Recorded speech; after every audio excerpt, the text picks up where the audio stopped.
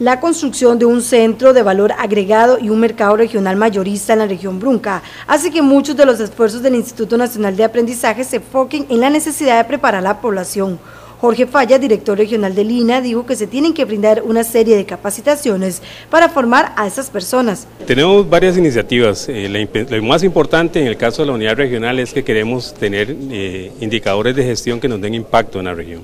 Por lo tanto, estamos apoyando todo lo que tiene que ver con mercado regional, todo lo que tiene que ver con los centros de valor agregado, eh, un segmento permanente a unidades productivas. Nos interesa mucho tener una oferta INA no dirigida abierta al público, sino más bien que esté direccionada hacia actividades que desarrollo productivo. El empeño nuestro con una serie de instituciones también de la región eh, es ver cómo podemos paliar un poco la pobreza de la región.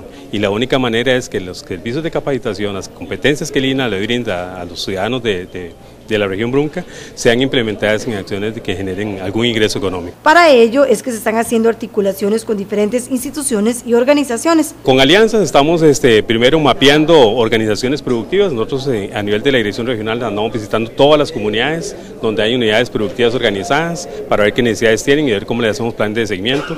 Tenemos una unidad PYME, INA, que está dando apoyo a eso.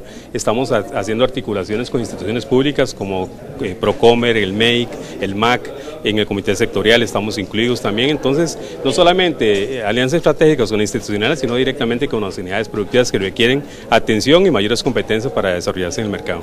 En el INA esperan continuar con este proceso de formación.